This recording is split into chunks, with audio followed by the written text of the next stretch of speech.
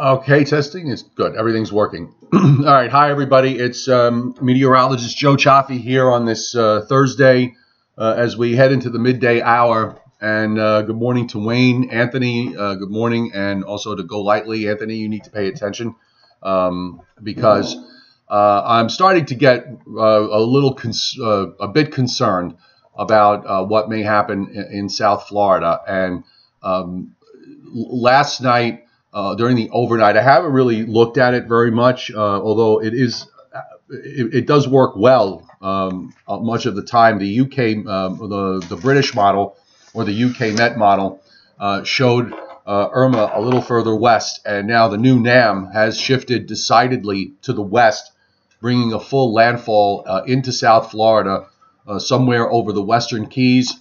and um, it doesn't go out far enough for me to see a track. So you know, for South Florida, um, if the uh, models continue to trend to the left, if the other models start to follow along, this is uh, seriously going to increase uh, your risk for uh, widespread damage uh, with um, Hurricane Irma as it moves in. And also, uh, on a separate note, which we'll get to, Hurricane Jose continues to strengthen, and uh, the track on Jose has been, as with been, has been the case much of this season. The trends have been west and south, and a hurricane watch is now up for the Leeward Islands again. Can you imagine if they wind up getting hit by a major hurricane back to back like this in just a matter of days?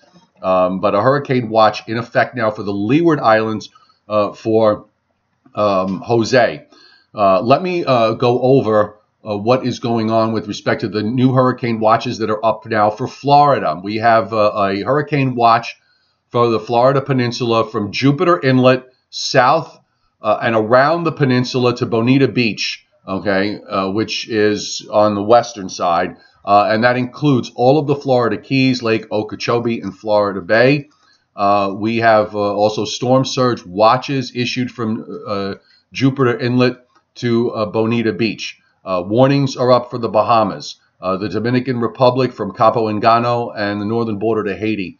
Um, Haiti from the northern border with the Dominican Republic to Le Mole and Saint uh, uh, and Saint uh, Nicholas. Uh, the southeastern Bahamas, Turks and Caicos, central Bahamas, um, northwestern Bahamas, all under a hurricane warning at the time. Cuba under a hurricane watch from Matanzas province east to Guantanamo. Uh, we uh, have tropical storm warnings, various tropical storm warnings up uh, as well. So let let me uh, first off, we'll go to the uh, advisory. We'll put the the Hurricane Center's forecast track, uh, and this is the 8 a.m. So let me see if they got the new one in. And hopefully they do. It's trying to load. I guess everybody's trying to get in there at the same time. Um, here's Irma on the satellite loop. We'll come back to the advisory and hope it'll be there. And you can see the motion has been fairly st steady west northwestward. It hasn't really changed very much, uh, just uh, kind of moving right along and heading right for uh, the Turks and Caicos Islands. It still has that kind of buzzsaw look to it, uh, getting maybe a, a, shade ragged because of the circulation being over uh, the Dominican Republic to some degree, but the eye is clearing the Dominican Republic by a good 60 miles. So the eye wall is staying offshore. Uh, here is the 8 a.m. So did they have the 11 a.m. yet? Nope, still waiting. So we'll come back to that um, with regards to um, what's happening. Now let's look at the Atlantic satellite because Jose has developed an eye uh, right there. And you can see the leewards and it's moving on a course. Looks like it's moving a bit more westerly than it has been. Uh, and uh, that uh, is perhaps going to put it very, very close to the Leeward Islands uh, before this is all said and done. I'm going to switch right now. We'll go to the uh, NAM model from today. And let me set it up for you. The new NAM. Now, unfortunately, the NAM, uh, because it's the North American model, doesn't really show anything graphically south of of 20 degree of 25 degrees north. So um, we're just um, very little south of 25 degrees north. But I'm going to. Uh, you, you, can already see that it, it's further south and west with the track, and uh, kind of skims it back to the idea of just basically bouncing off uh, the north central coast of Cuba before it turns northward. The, the main difference with the NAM, you know, it, it, went from being out at like 76 or 7 west to 79 west last night. Now it's it, it's at about 80 or 81. Uh, the basic uh, the, the, track shape is the same. Uh, it is just moved to the left, and this brings the eye of the hurricane right on land west of Miami.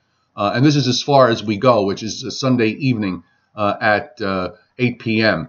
So I want to be very curious to see what the global models do with this in uh, just a little bit when they start coming out. Uh, but uh, apparently, there must be at least enough uh, going on in the upper layers of the atmosphere with regards to the uh, upper high uh, that is steering this. And you can take a look here at the upper air. There's that trough in the east. And actually, the trough not only looks less deep, but you can see this other upper low that's forming near Alabama and Georgia, and, and it's going to respond to that by turning northward. That looks perhaps to be forming a bit sooner on the NAM model. So the, these are important uh, developments. Um, you know, the minor changes in the upper atmosphere are going to dictate uh, uh, path shifts of uh, 30 or 40 miles, which in this case is going to be um, huge. So we are, um, you know, I'm getting, I am, uh, you know, very concerned here that we're going to have uh, a hurricane come bodily onto the Florida Peninsula uh, over the weekend. So I think if you're watching from down there, if you are on the east coast of Florida, particularly if you're in that hurricane warning area, you need to seriously consider, if you're, near the shore, you need to seriously uh, consider uh, your decision if you've decided not to, to uh, evacuate. And I would strongly urge that you uh, contact your local uh, officials in your area to uh, see what their recommendations are, uh, along with the National Hurricane Center and your local National Weather Service office. we have this is the recon from last night.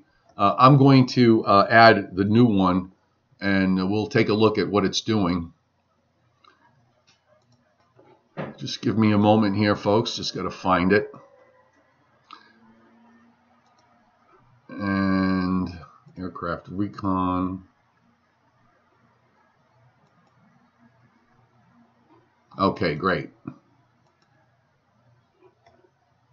And we'll put it up.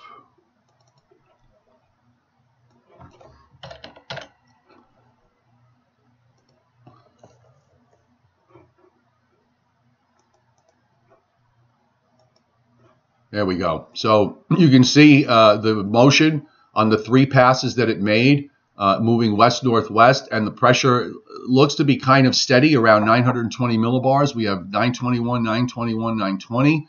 Um, so a drop of a millibar between the second and third pass, and uh, we have uh, belts of winds of 137 knots or higher. So this remains a major hurricane, uh, and will I'm thinking, you know, the, the way it, has been almost unrelenting in how it's wanted to hold on to its strength through all of this. It's just uh, uh, remarkable, really, um, that it's it, it's done. Uh, it, it's held on like this, but it's taking an almost perfect track in terms of staying far enough away from the big islands where the circulation is not disruptive, disrupted, and then it goes right over the um, warmest waters that are in the Atlantic, which is off the southeast coast uh, out to the Bahamas and uh, further east.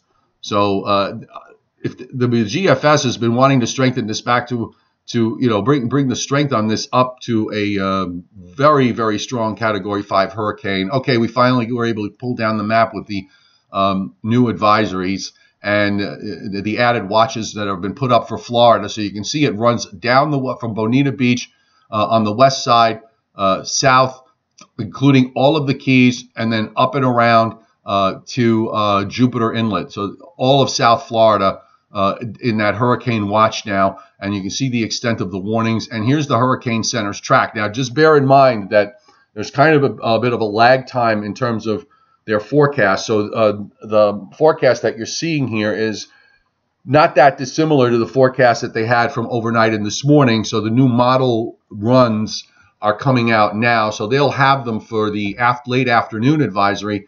And if, if they if the westward trend is noted uh, by by uh, the majority of the models, I guarantee you they're going to probably shift that track a little bit further to the west. But either way, to me, it seems that it's sort of it, it's it's way too close uh, for comfort here um, with regards to um, uh,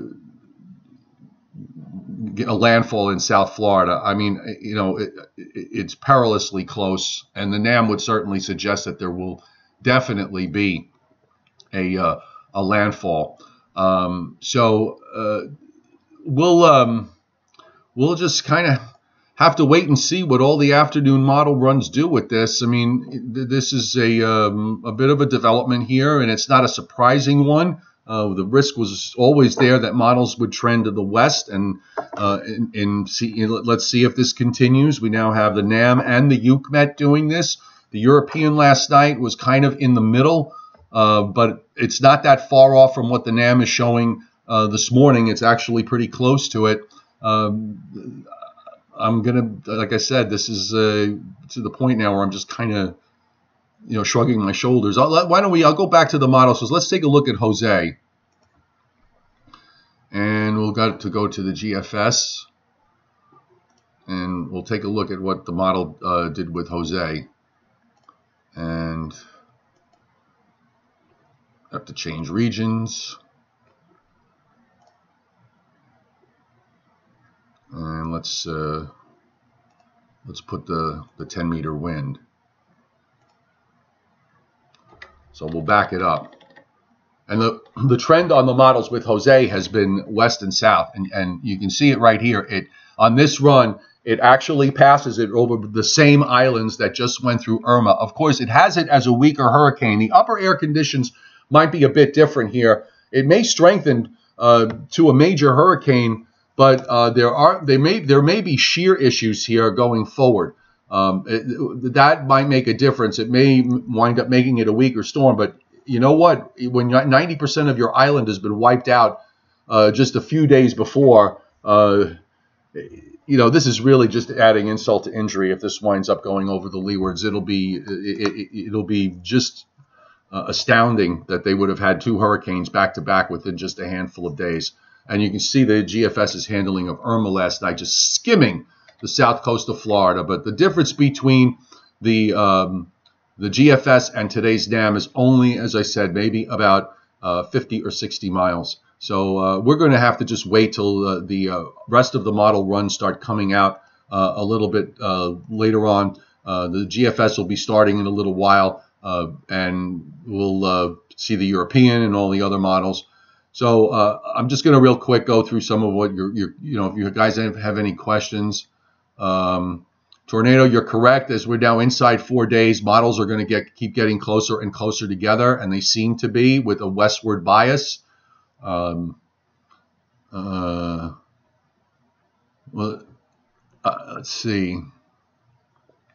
And then, of course, the next stop after that will be the southeast coast of the United States. I'm not sure exactly what form it will take in terms of the strength of Irma, that remains to be seen, but I would make the assumption that it would still be a major hurricane of some sort and um, kind of uh, use that as one of the pieces of information that you would use to um, make whatever decisions you you need to make.